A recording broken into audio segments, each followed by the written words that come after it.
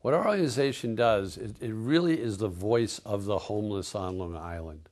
When we started it back in 1985, we wanted to bring together all the groups that were scattered through Nassau and Suffolk County that were working for the homeless, but most of us were very small, independent, non for profits.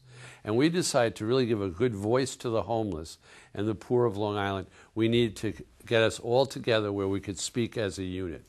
Today we have 150 to 200 different organizations that throughout the year are working with Nassau Suffolk Coalition to help the homeless in Nassau and Suffolk County. Everything from permanent housing for people with disabilities, individuals and families, uh, transitional housing for individuals and families who really just need a little bit of time to kind of get themselves back on their feet.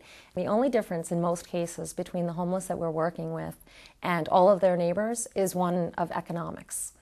Imagine a mom with two kids on in Suffolk County earning $24,000 a year, um, and that's close to 15%, that they're at immediate risk of homelessness. So at any given point, you have that number of people. In addition, we do have uh, among the highest foreclosure rates throughout the country. One of the major jobs that we do on Long Island is help bring in $10 million of federal money to Nassau and Suffolk County every year.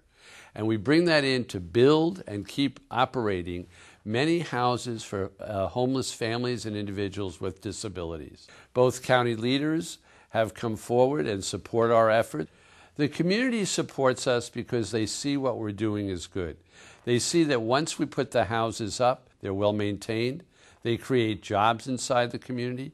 The people that are in the houses are very well behaved. They become part of the community? The best kind of success stories that we have is when a, a homeless family that's been that's been living in shelter, unfortunately lost everything, is able to move into a new housing program.